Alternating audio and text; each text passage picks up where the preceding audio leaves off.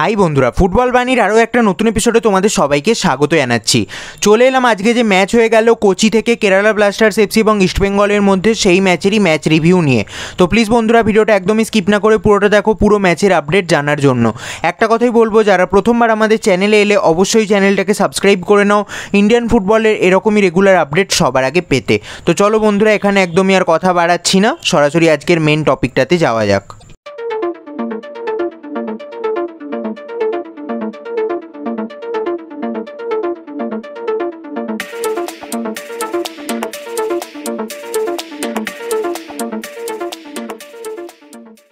বন্ধুরা, আজকে কোচির জওহরলাল নেহরু স্টেডিয়ামে কেরালা ব্লাস্টার্স এফসির মুখোমুখি হয়েছিল ইস্টবেঙ্গল প্রথমেই যদি স্টার্টিং লাইন আপের কথায় আসি কেবিএফসি আজকের ম্যাচে ফোর ফোর টু এরকম ফরমেশনে শুরু করে।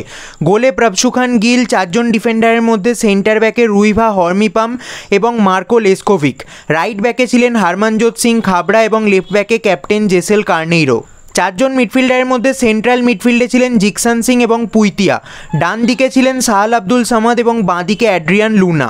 অন্যদিকে দুজন স্ট্রাইকার ছিলেন অ্যাপোস্টলস জিয়ানিউ এবং দিমিত্রিয়স দিয়ামান্তাকস। অন্যদিকে ইস্টবেঙ্গল ক্লাবও কিন্তু ফোর ফোর টু এরকম ফরমেশনেই শুরু করে। গোলে কামালজিৎ সিং, চারজন ডিফেন্ডারের মধ্যে সেন্টার ব্যাকে লালচুং নুঙ্গা এবং ইভান গঞ্জালেজ রাইট ব্যাকে অঙ্কিত মুখার্জি এবং লেফট ব্যাকে কাইরিয়া কাও। চারজন মিডফিল্ডারের মধ্যে সেন্ট্রাল মিডফিল্ডে অ্যালেক্স লিমা এবং সৌভিক চক্রবর্তী, ডান দিক থেকে সুমিত পাসি বাঁ দিক থেকে তুহিন দাস এবং দুজন স্ট্রাইকার ছিলেন ভিপি সুহের এবং ক্লেইটন সিলভা। আজকে ম্যাচের শুরু থেকেই কিন্তু এন্ড টু এন্ড ফুটবল হচ্ছিল। কেরালা ব্লাস্টার্স এফসির বেশিরভাগ অ্যাটাকই হচ্ছিল বাঁ দিক থেকে। ক্যাপ্টেন জেসেল কার্নেইরো এবং অ্যাড্রিয়ান লুনার তরফ থেকে। বেশিরভাগ অ্যাটাকেরই কিন্তু সূত্রধার ছিলেন জেসেল কার্নেইরো। অন্যদিকে ইস্টবেঙ্গলের ডান দিকের দুই ফুটবলার, অর্থাৎ অঙ্কিত মুখার্জি এবং সুমিত পাসি দুজনেই কিন্তু আটকাতে পারছিলেন না জেসেল কার্নিরো এবং অ্যাড্রিয়ান লুনাকে। তো সেই জায়গায় কেবিএফসির বাঁ দিকের চ্যানেল থেকে কিন্তু একের পর এক ক্রস আসছিল। তবে কেবিএফসির দুই স্ট্রাইকারের মধ্যে কেউই কিন্তু ফিনিশিংটা করতে পারছিলেন না। অ্যাপোস্টলস জিয়ানু এবং দিমিত্রিয়স দিয়ামান্তাকস, দুজনেই ইন্ডিয়ান কন্ডিশনে নতুন এসেছেন, তো এই কন্ডিশনের সাথে মানিয়ে নিতে একটু হলেও সময় অবশ্যই লাগবে। অন্যদিকে ইস্টবেঙ্গলের অ্যাটাকগুলো বেশিরভাগ হচ্ছিল সেন্ট্রাল চ্যানেল দিয়ে। ইস্টবেঙ্গল শুরু থেকেই কিন্তু আজকে প্রেসিং করছিল। ইস্টবেঙ্গলের মাঝ মাঠের পুরোপুরি কন্ট্রোল নিয়ে ফুটবল খেলেন অ্যালেক্স লিমা অ্যালেক্স লিমা দুরন্ত পারফরমেন্স দিয়েছেন আজকের ম্যাচে সৌভিক চক্রবর্তী এবং ডিফেন্স থেকে লালচুং নুঙ্গাও কিন্তু খুব ভালো প্রেসিং করছিলেন। কেবিএফসির কাছ থেকে বল কিন্তু জিতে নিচ্ছিলেন এই তিনজনেই। অ্যালেক্স লিমার কয়েকটা ব্রিলিয়েন্ট ফুটবল কিন্তু গোলে কনভার্ট হতেই পারত। একবার খুব ভালো সেভও করেছিলেন প্রভসু খান গিল। তাছাড়া ফিনিশিংয়ে ভিপি সুহের এবং ক্লেইটন সিলভার মধ্যে একটু কম্বিনেশনের অভাব দেখা যাচ্ছিল। অন্যদিকে ইস্টবেঙ্গলের বাঁ দিকের চ্যানেলের কথায় যদি আসি কাইরিয়া কাওয়ের পারফরমেন্স খুব একটা ভালো লাগেনি। অন্যদিকে তুহিন দাসকে কিন্তু কনফিডেন্ট অবশ্যই লেগেছে, তবে তাকে কিন্তু আরও বেটার করতে হবে এরকম মঞ্চে। কেরালা ব্লাস্টার্স এফসির হয়ে ডিফেন্সিভ মিডফিল্ডে জিকসান সিং এবং পুইতিয়াও কিন্তু খুব ভালো খেলেন। পুইতে একবার গোলও প্রায় স্কোর করে ফেলেছিলেন, খুব ভালো একটা শট ছিল, তবে একটুর জন্য গোল স্কোর হয়নি। প্রথম হাফের শেষের দিকটায় সাহাল আব্দুল সামাদও কিন্তু জ্বলে ওঠেন।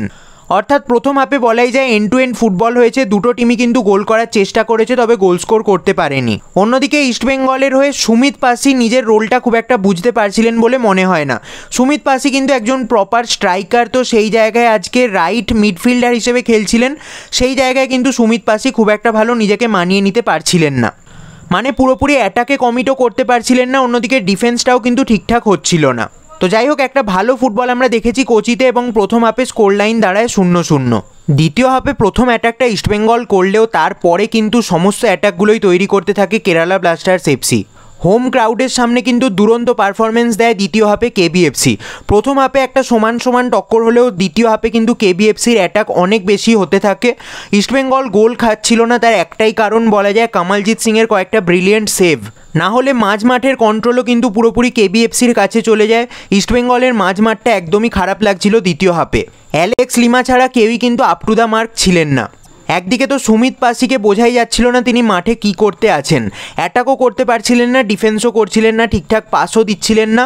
বাট স্টিফেন কনস্ট্যান্টাইনের পছন্দের ফুটবলার সুমিত পাসি তিনি কিন্তু মাঠেই রয়ে যাচ্ছিলেন। অন্যদিকে কেবিএফসির হয়ে মাঝমাঠ থেকে পুইতিয়া, অ্যাড্রিয়ান, লুনা, তাছাড়া উইং থেকে জেসেল কার্নেইরো একের পর এক অ্যাটাক করছিলেন। লুনা এবং জেসেল কার্নেইরো ক্রস দিচ্ছিলেন জিয়ানিউ এবং দিয়ামান্তাকসকে। আর সেন্ট্রাল চ্যানেল থেকে সাহাল আব্দুল সামাদ এবং পুইতিয়া দুজনেই কিন্তু খুব ভালো অ্যাটাক তৈরি করছিলেন। ইস্টবেঙ্গলের মাঝমাঠের অবস্থা এতটাই খারাপ লাগছিল যে ক্লেইটন সিলভা বারবার কিন্তু নিচে আসছিলেন বল কালেক্ট করার জন্য। অর্থাৎ ক্লেইটন সিলভা যার থাকা উচিত বক্সের ভেতর, তিনি বারবার মাঝমাঠে আসছিলেন বল নিয়ে আসার জন্য।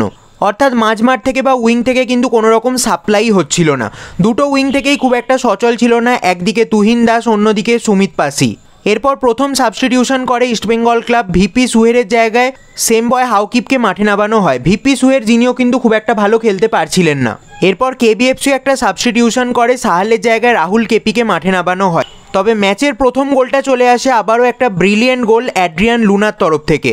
ডিফেন্স থেকে হারমানজোত সিং খাবড়ার একটা অসাধারণ লং পাস এবং ওয়ার্ল্ড ক্লাস লেভেলের একটা গোল স্কোর করেন অ্যাড্রিয়ান লুনা। ম্যাচের একাত্তর মিনিট নাগাদ চলে আসে এই ওয়ার্ল্ড ক্লাস গোলটা। গোলটা করার পর পুরোপুরি ইমোশনাল হয়ে গিয়েছিলেন অ্যাড্রিয়ান লুনা। তোমরা সবাই জানো অ্যাড্রিয়ান লুনার বাচ্চা মেয়ে মারা গিয়েছিল মাত্র কয়েক মাস আগেই। তো সেই জায়গায় অত্যন্ত ইমোশনাল হয়ে পড়েন গোলটা স্কোর করার পর এই ম্যাজিশিয়ান অ্যাড্রিয়ান লুনা। এরপর দ্বিতীয় হাফে ইলিয়ান্ড্রো জেরি এদেরকে মাঠে নাবান কোচ স্টিফেন কনস্ট্যান্টাইন। তবে কেবিএফসির নিরন্তর অ্যাটাকের ফলে কিন্তু ইস্টবেঙ্গলের ডিফেন্স পুরোপুরি তাসের ঘরের মতো ভেঙে যায় বলাই যায়। এরপর সাবস্টিটিউট হিসেবে মাঠে নামেন কেবিএফসির হয়ে ইউক্রেনের সেন্ট্রাল মিডফিল্ডার ইভান কালিউজিনি। এবং এসেই বিরাশি মিনিট নাগাদ তার ফার্স্ট টাচে মাঝমাঠ থেকে একাই চারজন ডিফেন্ডারকে বিট করে একটা দারুণ গোল স্কোর করেন। গোলটা জাস্ট দেখার মতো ছিল, একটা ড্রিম ডেভিউ ছিল ইভান কালিউজিনির। ফার্স্ট টাচেই করে দেন একটা দারুণ গোল বিরাশি মিনিটে। এবং এখানেই কিন্তু ইস্টবেঙ্গল দু গোলে পিছিয়ে যায়। এরপর একটা গোল ফিরিয়ে আনে ইস্টবেঙ্গল ক্লাব সাতাশি মিনিটে। অ্যালেক্স লিমা কিন্তু একটা দারুণ গোল স্কোর করেন এবং ম্যাচে ফিরে আসার চেষ্টা করে ইস্টবেঙ্গল ক্লাব। যেই অ্যালেক্স লিমা গোলটা স্কোর করেন, তাকে কিন্তু তুলে নেন কোচ স্টিফেন কনস্ট্যান্টাইন। তার জায়গায় মাঠে নামানো হয় জেভিয়ার ও ডোহাটিকে। তবে এই গোলটার আনন্দ বেশিক্ষণ ধরে রাখতে পারে না ইস্টবেঙ্গলের এক মিনিট পরে। আবারও সেই ইভান কালিউজিনির ওয়ার্ল্ড ক্লাস লেভেলের আরও একটা গোল। একটা অসাধারণ লং রেঞ্জার শট মারেন মাঝমাঠ থেকে এবং সেটা কিন্তু গোলে চলে যায় কেরালা ব্লাস্টার্স এফসির হয়ে। অর্থাৎ কালিও কালিউজিনি কিন্তু এসেই দুটো গোল স্কোর করে দেন। তিনি কি তাহলে হয়ে উঠবেন এই সিজনের অন্যতম সেরা সাইনিং মাত্র চব্বিশ বছর বয়সী ইউক্রেনের সেন্ট্রাল মিডফিল্ডার ইভান কালিউজিনি তোমাদের এই বিষয়ে কি মতামত অবশ্যই নিচে কমেন্ট সেকশানে জানিও। এইভাবেই কালিউজিনি ম্যাজিকের ফলে কিন্তু কেরালা ব্লাস্টার্স এফসি ইস্টবেঙ্গল ক্লাবকে তিন একে পরাজিত করে দিল। ইস্টবেঙ্গলকে কিন্তু অনেক কাজ করতে হবে এই টিমটাকে ঘুরে দাঁড়ানোর জন্য। তো এই ছিল আজকের ম্যাচের পুরো আপডেট। ভিডিওটা ভালো লাগলে অবশ্যই একটা লাইক করে দিও, বন্ধুদের মধ্যে শেয়ার করো। চ্যানেলে প্রথমবার এসে থাকলে চ্যানেলটাকে সাবস্ক্রাইব করে বেল বাটনটাকে টিংটং করে দিও। তো চলো বন্ধুরা, আজকের মতো ভিডিওটা এখানেই শেষ করছি। দেখা হবে আবার পরের এপিসোডে ততক্ষণের জন্য, টাটা।